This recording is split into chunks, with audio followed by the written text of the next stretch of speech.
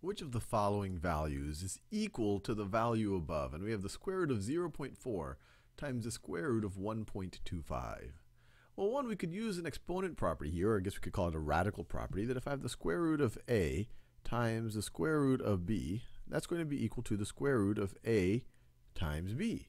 So in this case, a would be 0.4 and b would be 1.25. So this is going to be the same thing as the square root of 0.4 times 1.25. And what is that going to be? Well, let's see. That's going to be, so let's see, 4 times 1.25 would be 5.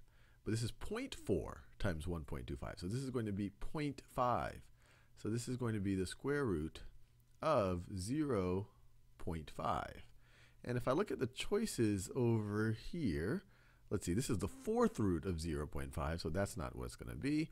This is the square root of 1.65, so that's going to be a different value. This is 0.5, not the square root of 0.5. This is just 1 half, but we want to get the square root of 1 half, so that's not going to be that. So this should be the same thing as the square root of 0.5. Let's see if that's the case. So the square root of 0.5 that's the same thing as the square root of 1 half. 0.5 is 1 half. This is the same thing as the square root of 1 over the square root of 2. Square root of 1 is just 1, so it's 1 over the square root of 2.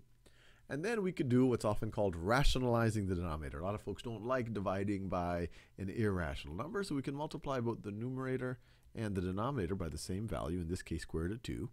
And then we're going to get 1 times square root of 2 is square root of 2. And then square root of 2 times square root of 2 is going to be 2. So the square root of 0.5 is indeed equal to the square root of 2 over 2.